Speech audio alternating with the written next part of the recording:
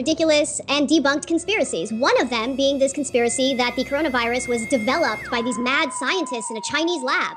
The intelligence community has already come out to say that this is not a human made virus. The intelligence community, the intelligence community has Ridiculous and debunked conspiracy. ridiculous and debunked conspiracy. ridiculous and debunked conspiracy. Ridiculous and debunked conspiracy.